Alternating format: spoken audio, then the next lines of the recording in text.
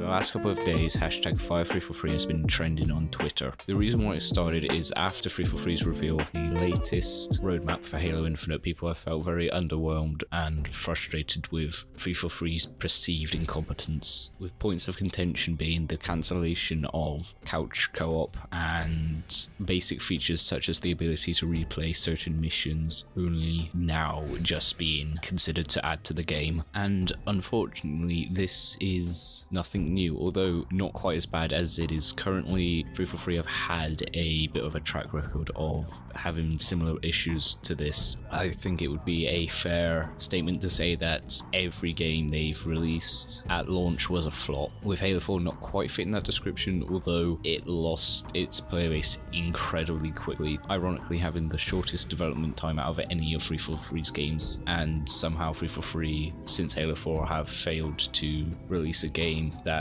isn't buggy or lacking significantly in features. MCC after Halo 4 was widely considered unplayable at launch. They managed to patch the game to a somewhat playable state, but still a very buggy. It wasn't until years later that they got around to actually fixing the game. And then Halo 5 released with what was widely considered to be the worst campaign to date in a Halo game, and for that point in time, the least amount of content to release at launch in a Halo game on top of that. And then Halo Infinite being more of the same as 5 with very, very slim amount of content at launch, but then at least with 5, new content was rolled out very quickly. With Infinite, it's been a very slow burn. So there's the explanation on why people are mad, why they created this uh, hashtag, and I'd like to explore what might happen going forwards into the future. So first things off, I suppose I should clarify. I personally don't think there are certainly people who think this, but I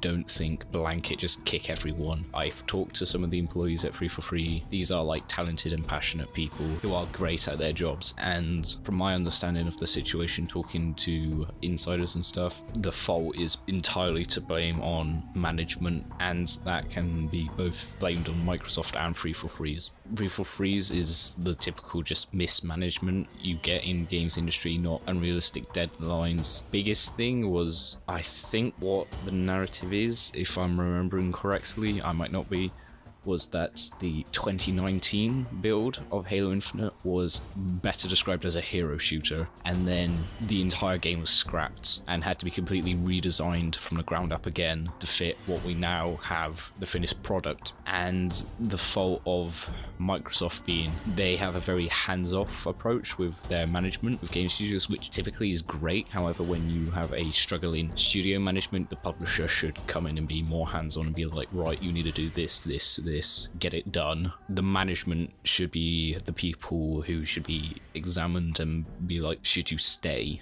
I think one of the biggest failures of 343 was just focusing them down on the path of you can only make Halo games. I think that was a very bad decision to make by Microsoft. I don't think any studio should be funneled down one franchise. I think they should be allowed to explore creative decisions that perhaps that franchise doesn't allow. At least to me, seems very apparent with the direction 343 took several of their games, with pretty much all of them being what would in other franchises be considered a sequel or a soft reboot being a mainline entry. So I think from day one that was a very big mistake. So going forward, there shouldn't be one studio in charge of Halo, and I'll explain that a bit later on. So what I think should happen is 343 is like split halfway. So obviously re-evaluate the management and how it was done and split the company in half. So you have the current employees who are working on like the MCC and Infinite, the, like just the support team, and you know that's what they do for a bit. I think the immediate thing is cancel the next 10 years of Halo. I personally think gunning for a live service as your model is a very poor decision. Live services, at least to me, good ones anyway, seem to be more of an accidental thing that occurs over a very deliberate game plan. So let the developers and stuff continue with support with MCC and Infinite to then later on, once they're happy with the state of those games, two games to then progress on to whatever they want to do next. And the other half, the mixed media team, to uh, hop around to whoever takes Halo next. Because, in my opinion, if you look at what Halo really is now, which is a multimedia franchise, 343 have done an exceptional job. Compare like the books that released under Bungie compared to the books released under 343 or Bungie and 343's policies. Bungie were very anti uh, other people working on their franchises. That's why Reach is a hard retcon of The Fall of Reach, the novel, and uh, I forget the name, but the people who worked on the original Halo Wars. Bungie were very unhelpful towards their development. There wasn't a lot of good communication. Whilst 343 is seemingly to me anyway, are very good at communicating to partners and stuff of side projects and spin-offs and such forth, what the universe is like and how things should be done, and then let Halo be worked on by other developers. Microsoft have made a bunch of purchases recently. They have some incredibly talented studios under their wing now. Infinity Ward and id are the two that I've heard float around the most, with people choosing the two for the exact same reasons, that being that they have made in recent memory very good soft reboots of the respective franchises that they have been put in charge of. And uh, one that I'd also think would be a fit that Microsoft doesn't own but they could license out to is Respawn. I can't think of a single bad game Respawn have made. Uh, I jokingly comment all the time how the EA's only competent developer. Only downside I could see in Respawn if it was like solely them making it is they do whatever they want. So we probably wouldn't get a franchise out of Respawn. We'd get a really good game every now and again. You know, can't complain, but poor Titanfall man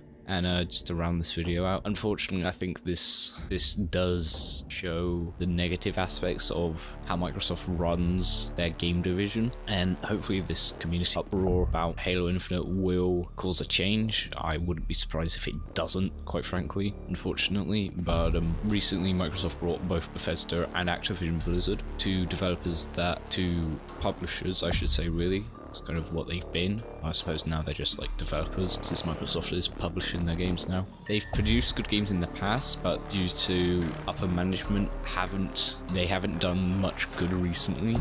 You know, the hope was that with Microsoft now in charge, they'd force them to be better, you know, crack the whip a bit. In the case of Bethesda, what this has shown is that Microsoft is very hands-off with their studios, which there's obviously really big pros with that. You know, just look at Respawn and contrast that with everything else EA does in terms of studios that their management is very lacking. That like Bethesda, like Activision Blizzard, that is the worst thing you can have. So unfortunately, I we won't see a noticeable improvement in Activision or Bethesda in terms of their policies and just their games output in general. It's a bit of a depressing note to end it on, but there we go.